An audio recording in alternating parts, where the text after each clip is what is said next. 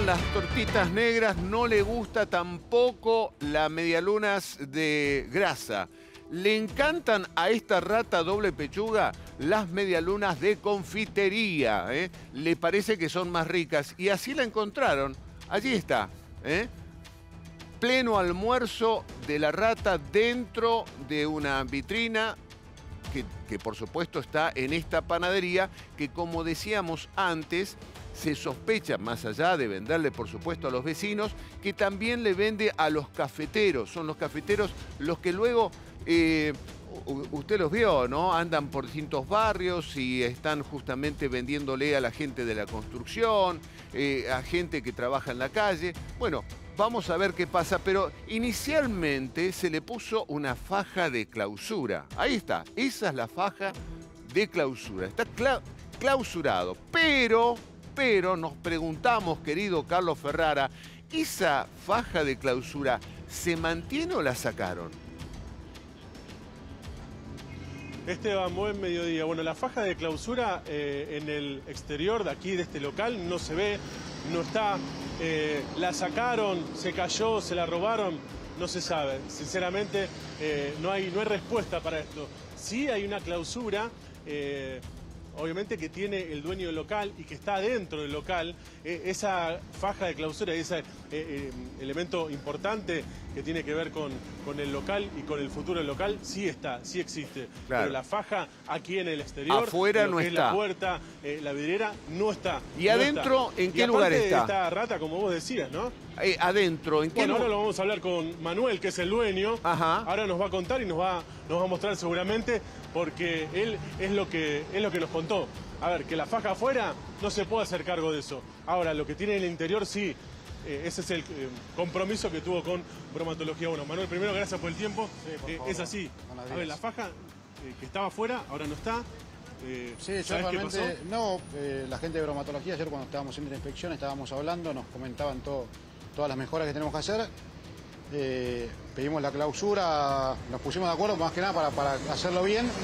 Y como decías vos, lo de adentro mío, sí, está, está como corresponde, no, estoy, no tengo venta al público porque no, no corresponde, pero si había faja afuera o la sacaron, no, yo no me puedo hacer responsable de algo de afuera.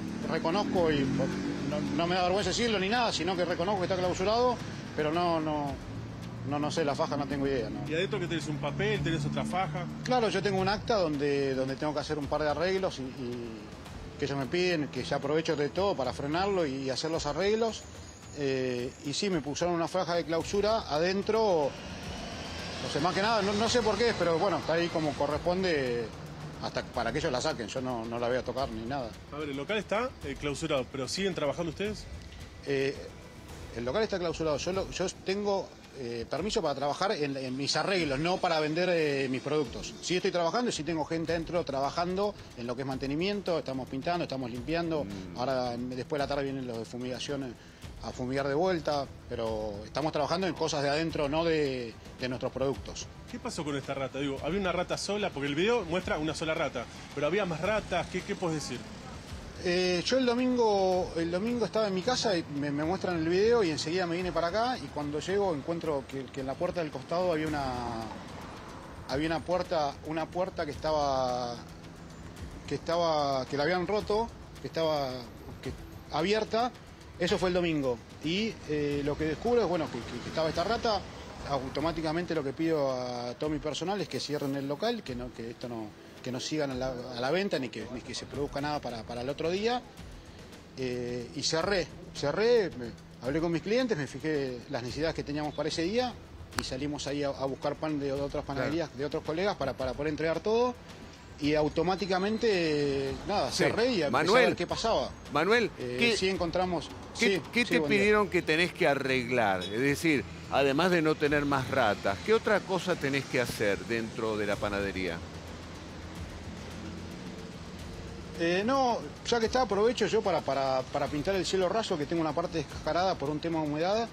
Eh, y nada, es lo que hacen hincapié en, todas las, en todas las aberturas de abajo, eh, estamos en un lugar muy sucio, de, muy sucio, de noche anda mucha, mucha cantidad de ratas eh, justo estábamos hablando con el de fumigación y vimos que es una rata grande, entonces es que viene del exterior.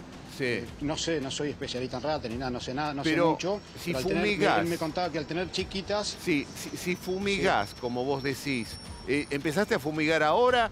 Em, eh, ¿Había habitualmente fumigás? no, por- nosotros fumigamos una vez cada 15 días. Y qué Nosotros- raro, ¿no? Nosotros fumigamos una vez cada 15 Qué, días. qué raro que aparezca una rata No, en un lugar donde se fumiga. No, en realidad si uno, uno está de noche acá y si uno puede ver cómo, cómo se mantiene la de afuera la vereda, cómo están la- las alcantarillas, cómo está todo, uno se da cuenta que no es raro, porque estos son Claro. lugares muy sucios.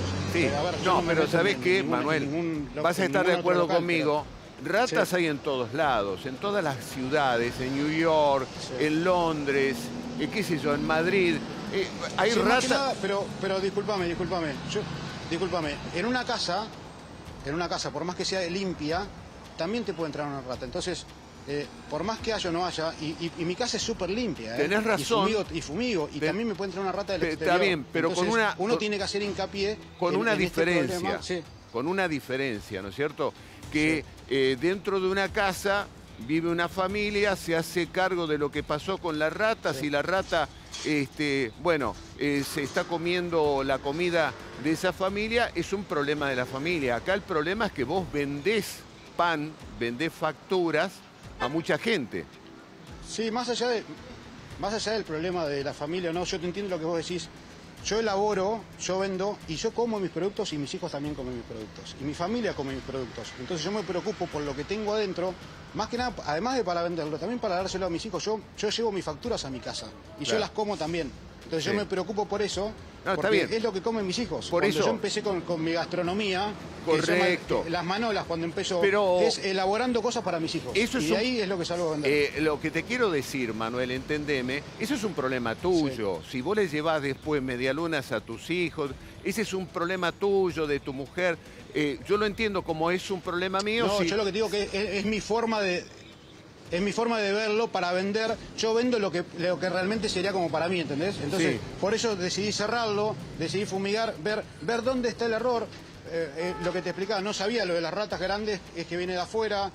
Ahí estamos buscando a ver si hay un nido o si pusieron nido, no sé cuándo. cuánto Claro, tiempo, porque por ahí no- por ahí no- no vino de afuera. Es preocuparme para Por ahí- ocuparme más que nada. Claro, ahora, Sí, las, las vitrinas No, que vos tenés ahí, ¿no Sí. están cerradas?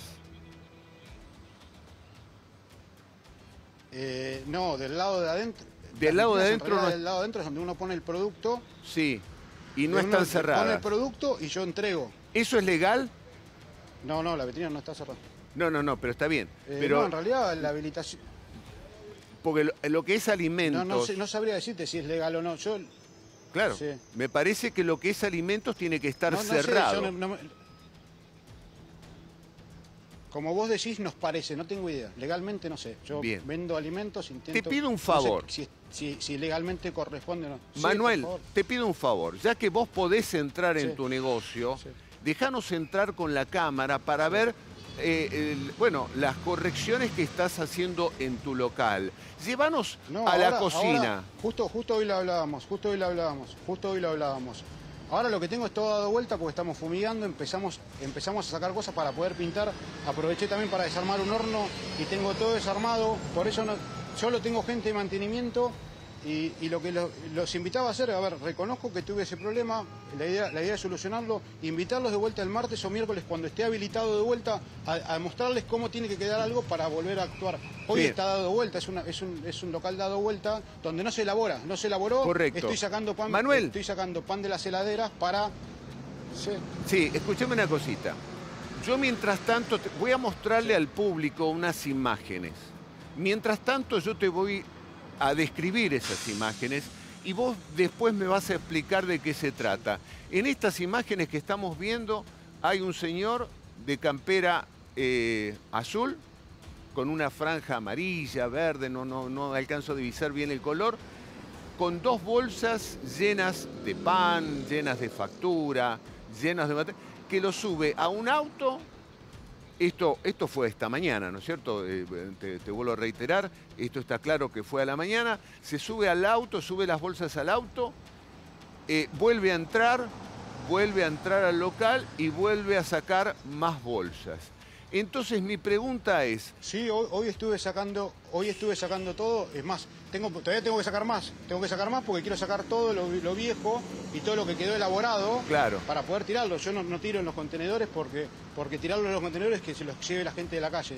Entonces prefiero, prefiero ir, llevarlos a la boca o a alguna cosa donde se tira todo en bolsas negras y sí, sacamos un montón de... No sé, porque yo no estaba, pero sí, ahora saco más en un rato y me pueden filmar a mí sacando bolsas de pan, ¿eh? Claro. Porque tengo pan. Eh, Claro. pero sí, es toda cosa que, que sacamos de adentro y me queda más, más Eh, para sacar todavía. vos, vos a- adentro, Por eso respondo, te, te vuelvo a repetir, discúlpame, no vi que sacaron, pero sí sé que sacaron porque yo di, di orden que saquen todo lo, lo que sea alimento. ¿no es más seguro quemar todo eso? ¿Cómo? ¿No es más seguro quemar? Porque vos decís, no lo tiro en un container de los que no- están en la calle porque lo agarra gente Eh, de la calle. Es Eso como- va a terminar... Es, como lo que decíamos recién legalmente. Claro.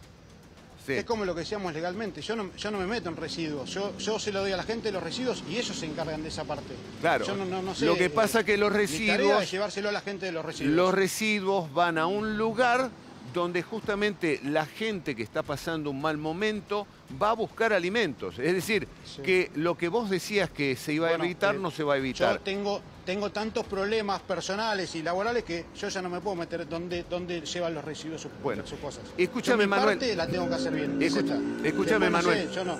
Y no Eh, sé, a ver, tenés razón lo de quemar, eh, capaz que sí, pero yo qué sé. Está bien. Escúchame un segundito, Manuel. Quédate allí porque vamos a escuchar Sí, ahora sí, un bromatólogo, al doctor Pajés, que nos va a explicar, Pajés, eh, qué, qué daño puede hacer el tema de las ratas dando vueltas por la comida que después va a consumir la gente. Por ejemplo, estamos hablando de medialunas. Eh, Pajés, gracias por, por atendernos. ¿eh? Y la pregunta está planteada. ¿Qué, qué daño le puede hacer a un ser humano el hecho de que haya ratas comiendo la comida que después, medialunas, que después va a consumir la gente? Muy bien. Bueno, buenos días. Eh, lamento la noticia, lamento el contexto, eh, pero bueno, voy a tratar de, ser lo más, claro posible. Yo soy especialista en alimentos y también soy director de una diplomatura de gestión integral de plagas. Yo les voy a comentar un poquito algunas cuestiones que tienen que ver la biología de las ratas, eh, sin entrar en, disputas de si es, como, como dice el dueño del local o no, la situación que llevó a ese roedor a estar en ese lugar. Primero, el, el roedor tiene hábitos, a diferencia de otros roedores, eh, de acumular alimentos. eh, tiene un metabolismo acelerado, con lo cual en su madriguera, en su nido, orina y defeca, eh, orina cada 10 minutos, defeca cada 30 minutos. Muchos de esos alimentos que busca llevarse se descomponen, se mueren otros roedores, nacen otros, y ese, ese lugar, ese foco infeccioso para el hombre, es una necesidad que tiene el roedor para poder ver. El roedor Claro, no tiene una claro. buena visión y necesita esparci- espa- esparcir todos esos microorganismos Sí. a través de enzimas lipídicas, grasas, que va esparciendo y marcando su recorrido. Pero Martín, Mar- No Martín, es- va- sí. va- vamos, digamos, eh, lo más importante ahora es qué le pasa a un ser humano que consume este, comida por donde estuvo, por donde pasó una rata. ¿Qué le pasa? a Ah, Ahí, vamos, ahí vamos. Ahí tenemos, en ese, en ese foco infeccioso que el roedor esparce por todos los lugares donde transita, por eso es que un riesgo para la salud de las personas y para la contaminación de los alimentos, es que ahí tenemos posibilidades de encontrar Echerichia coli, relacionada con el síndrome urémico hemolítico, salmonela y un montón de patógenos. ¿Eso mata? Algunas enfermedades, esas pueden matar a un niño, pueden matar a un adulto, a una persona con un sistema inmunológicamente débil, puede llegar a generar eh, algunas parasitosis, la triquinosis, por ejemplo, está vinculada a los roedores. Entonces hay un sinnúmero de patógenos. Esa mercadería que usted dice, ¿a dónde la van a disponer? Debería ser destinada como residuo patógeno. No puede ir a un residuo común cuando ya hay una contaminación de roedores en el medio. Bueno, ahora hay otra pero pará, pará. Martín, pará, pará, pará, que va- vamos bien hasta ahora. Cuando, cuando vos decís un residuo patógeno, eh, esp- espérame un segundito, que creo que te quiere preguntar algo Manuel. Manuel, ¿qué querías decirle a, a Martín? Mart- buen día, Martín. Eh, Hola. yo, no, yo no sabía. Yo lo que tengo que mandar, tengo que pedir certificado también de eso, ¿no? Eh, para, más que nada para estar tranquilo y, y- y que se haga bien lo que, lo que estoy yo esta- esta situación en particular, eh, lo correcto eso no sabía. sería eso. Eh, Eso es correcto porque ahí vos tenés un patógeno en esta situación. Nosotros en Córdoba tenemos una legislación y más las empresas de control de plagas que todo lo que tenga que ver con roedores, incluso los cebos de recambio, van a desti- a- como destino y los, ro- los roedores muertos incluso, patógenos. Y los cebos también pueden ser considerados residuos peligrosos. Claro. Entonces vos, la exposición de la rata a los alimentos o a los lugares pueden llegar a ser considerados legalmente desde dos áreas, desde patógenos de peligrosos, no es un residuo domiciliario, ya no es un residuo común. Pero bueno, depende también de la legislación que aplique en tu municipio, depende de muchas Martín, cuestiones. Martín, Acá hay una cuestión también... Pará, Sí, pará, perdón. eh, esperame un segundito. Para, para contarle a Ma- Manuel dice que fumiga, que fumiga su panadería cada 15 días. ¿Esto está bien o esto justamente puede generar que en algún momento sigan entrando ratas? Mira, vamos, te lo voy a explicar. Hay una realidad, sí, en todas las zonas céntricas vos abrís la puerta y pueden entrar ratas en cualquier momento del día porque hay mucha infestación en la calle, por el mal manejo de residuos, por un montón de factores de deficiencias de la higiene urbana que, lamentablemente padecemos en todo el país, en, algunos más, en otros lugares menos. Pero que el roedor eh, haya estado comiendo con tanta tranquilidad, el roedor tiene hábitos escurridizos. Si no se siente cómodo, si no se siente seguro, no se va a ir en un horario diurno a meterse a un lugar a comer, porque ese hábito lo, lo- se puede producir de dos maneras. O que hay mucha infestación y ya no les interesa esconderse, o que está envenenado, o que está bajo efectos de un raticida. Está bien, pero... Hay otra realidad. Pero no, pero está ahí bien, Martín, tirar- sí. pero concretamente, ¿cada cuánto una panadería, un lugar que vende comidas, cada cuánto tiene que fumigar justamente para que no entren ratas? Mira, acá hay dos, dos situaciones. Legalmente, cada 30 días es, es el mínimo que se establece. Ahora, si el establecimiento, que eso te lo tiene que decir el bromatólogo o el director técnico del tenga, tiene condiciones de asentamiento de roedores, tiene que ser semanalmente si tiene una alta exposición. Semanal. Semanalmente, ¿por qué? Por- porque vos tenés que tener, un es una corrección de hábitos que Correcto. vos podés predecir ante el consumo de los raticidas, si los hubiere, o la- ante el atrapamiento. Claro. si los hubiere, de ver si hasta hay lugares hasta que se tiene que ir hasta dos o tres veces por semana, de Eh, a la Martín, infestación a- y a las aguántame. condiciones edilicias del lugar. Aguantame un segundito que volvemos con Manuel. Y Manuel, vos recién escuchaste al especialista, vos fumigás cada dos semanas. Él dice que en realidad lo mejor Nosotros sería fumigar legalmente- por semana. legalmente Es, legalmente es una vez por mes. Yo por decisión propia lo que, lo que hago es fumigar una vez cada 15 días. A la vez también ponemos trampas, que, que, que no está correcto. Justo ayer con la gente de bromatología lo- me lo explicaba y yo no sabía. Nosotros ponemos trampas y además cartones con pegamento, que me, me explicaba la de bromatología que tampoco está permitido. Y, y nos tomamos el, el derecho de hacerlo como para también combatirlo más. En la parte externa mía, que yo tengo un patio interno, también busco ponerle ahí pegamentos, cosas de, de combatir este, este roedor. Bien. Eh, Eh, y eh, uno busca de todas las maneras posibles, y como le decía, yo tomo la decisión de hacerlo para, para no tener este- esta complicación. Eh, correcto. Y, Eh, eh, y en la parte que me entraron... Eh, espérame, Sí. espérame, espérame Martín, que ya volvemos con vos y le hacemos la última consulta. Eh, Perdón, Sí. Manuel, ya volvemos con vos y este, volvemos ahora sí con Martín para la última consulta que te quiero hacer, Martín. Eh, ¿Durante cuánto tiempo te imaginás que Manuel va a tener que luchar dentro de su local para sacar a, supongamos que tenga un nido de ratas, para que eh, exterminar al nido de ratas? ¿Cuánto tiempo le puede llevar? Mira, si tiene una alta infestación, no menos de dos semanas. Dos semanas. Eh, hay un error de bromatología. Si se permite el Código Alimentario Argentino, que es la ley suprema en lo que es alimentos, se permite el uso de trampas de pegamento o trampas de captura. Si me pe- permitís, te voy a mostrar cómo son. A que ver. hay un error grave si bromatología te he dicho esto. ¿Me alcanzás una de las trampas de eso, Vivi? ¿Y la de pegamento? Dale, Esta es una placa de pegamento que va dentro de una trampa Sí. que no tiene tóxicos. Y si en el patio él puede poner cebos tóxicos, no trampa de pegamento, porque al ser en exteriores sí se puede poner raticidas. Y esto dentro, yo te digo porque manejamos grandes industrias exportadoras de alimentos, también grandes cadenas internacionales de gastronomía, y esto sí se permite usar de manera preventiva en el interior de una cocina, Pero de un no- restaurante, pero no- de una cuadra de No panadería. pegamento, no pegamento. como- tóxico. No, no pegamento. Bien. Mar- Pegamento. Martín, Martín, te agradecemos mucho, gracias por ayudarnos a entender lo que está pasando, no solo en el local de, de Manuel, por ahí en lo que está pasando en muchos otros locales. Gracias, gracias por atendernos. El gusto es mío. Un abrazo. gusto. Manuel, entonces Un a abrazo. vos la gente, el inspector de bromatología, te dijo que podés aplicar lo que está prohibido. No, no, no, no, no, no, perdón.